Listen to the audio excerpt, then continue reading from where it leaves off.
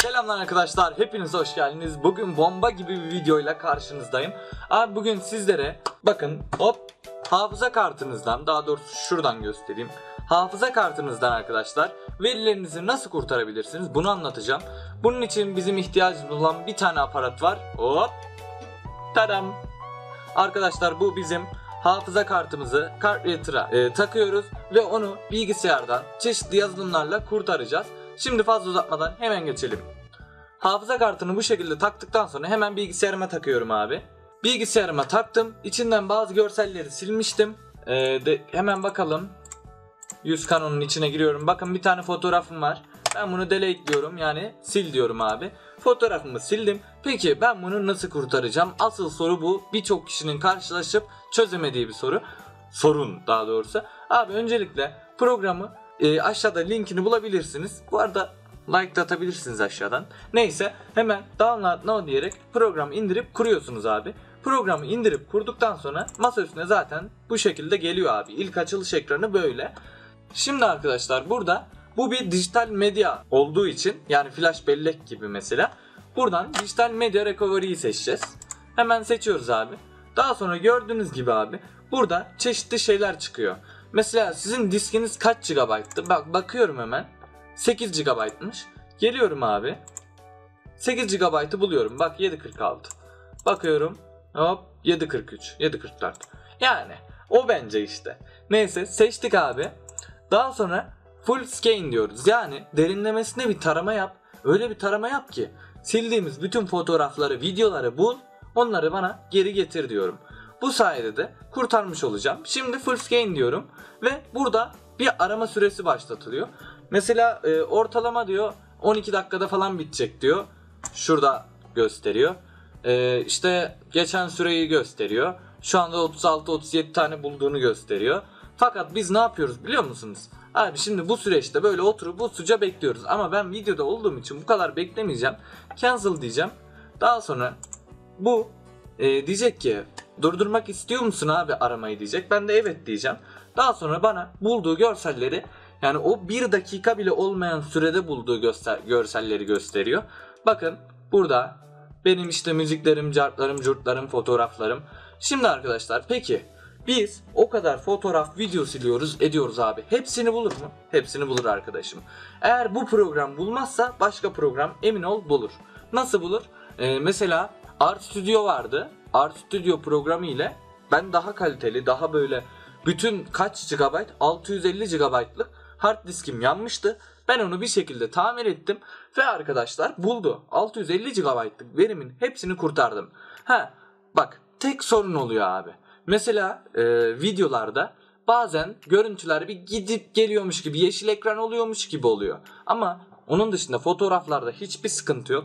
Kaybettiğiniz bütün fotoğrafları bu şekilde bulabilirsiniz. Bir hafıza kartınızın içinden yanlışlıkla bir fotoğraf sildiniz diyelim. Bu fotoğrafı bu programlar sayesinde geri getirebilirsiniz. Şimdi geri getirme işlemini göstereyim isterseniz. Siz 10 dakika beklediniz ya da yarım saat beklediniz diyelim. Bu yarım saatin ardından abi e, bayağı baktınız buldu. Bütün fotoğraflarınızı buldu. Çift tıklayarak ön izleyebilirsiniz. Benim iğrenç fotoğraflarım olduğu için yani yüzümün çok yakından gösteriyor. O yüzden açmak istemiyorum. Şimdi RAR Files bölümüne geliyorum. Bak burada buldu. Mesela bulmuş olduğu disketi seçiyoruz abi. Disketin tikini bir kez tıklıyoruz. Daha sonra Save Files var sol tarafta ikon. Ona bir tane tıklıyoruz. Buton daha doğrusu. Daha sonra bu nereye kaydedilsin diyor. Ben diyorum ki Browse bölümünden masa üstüme yeni bir tane şey açacağım. Klasör açacağım. Geldim masa üstüme. Sağ tıklıyorum. Yeni diyorum.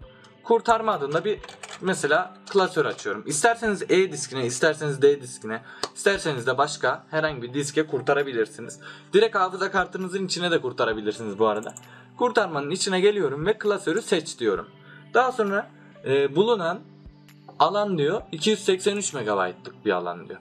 Ama senin senin diskindeki boş alan abi 14 GB'mış diyor. Tamam diyorum okey diyorum.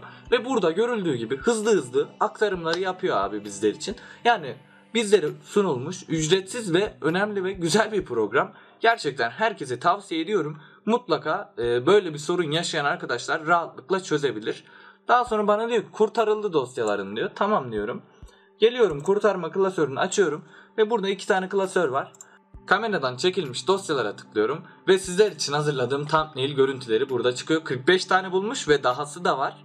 Birçok fotoğraf var fakat ben e, maalesef hepsini gösteremem şu an.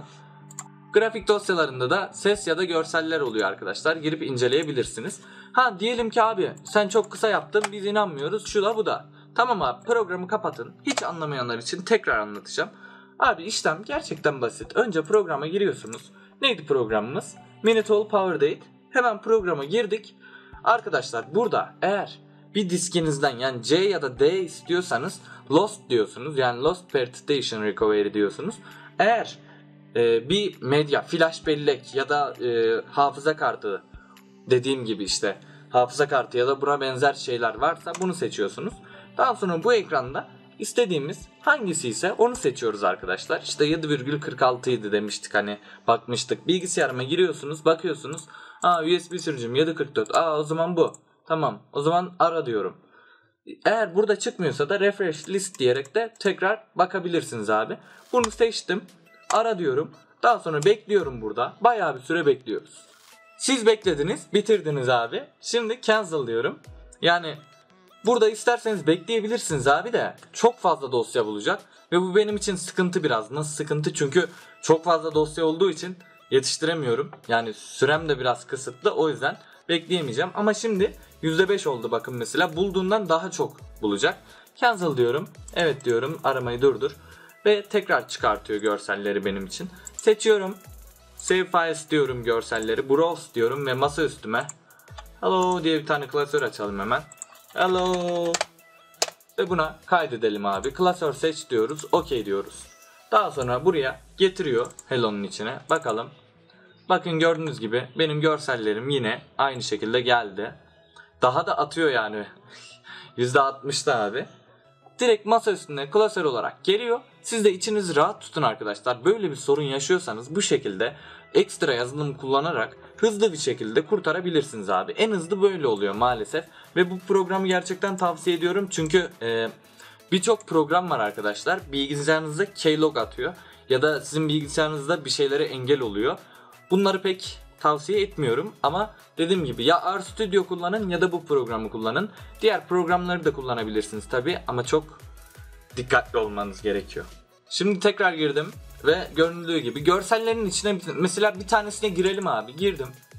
Bakın şöyle bir yakınlaşıyorum.